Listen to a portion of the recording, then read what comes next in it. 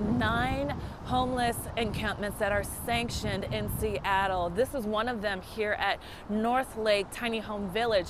I spoke to a woman who lives near a former encampment, and she says she fears more of these across the city will put public safety at risk.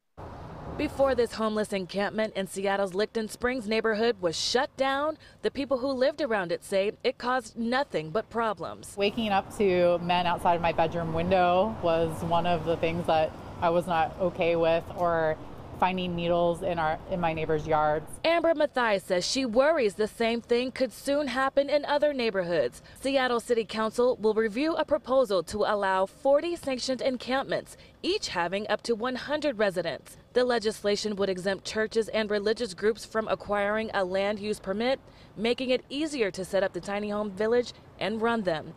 Matthias says she believes more tiny homes are not the answer to the city's homeless crisis. We need to expand treatment. We need to uh, increase mental health, and we need to get people back into environments where they can reincorporate back into society. You cannot reincorporate back into society living in tents. Matthias says crimes spiked in her neighborhood during the two years the encampment was in Licton Springs. Though Seattle police say their numbers can't prove the encampment was to blame, there was a big increase in crime in a two city block radius from it.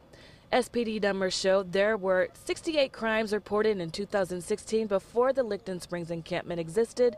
In 2017, when the village moved in, there were 138 crimes, a 103% increase. Licton Springs was an exception.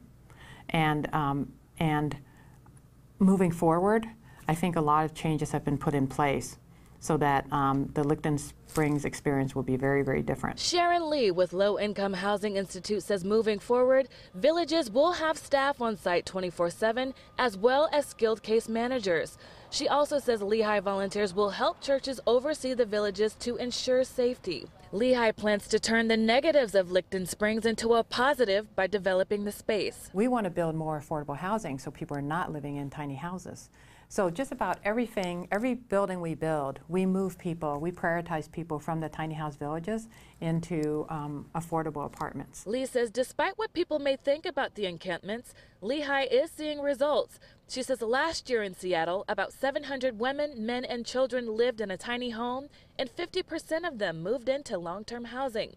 Reasons why she says approving the proposal for more encampments is necessary. Councilmember Kshama Sawant is a sponsor of this bill. Council members are expected to meet tomorrow to discuss this proposal starting at 2 p.m. Reporting live in Seattle, Frankie Thompson, Q13 News. All right, Frankie, thank you so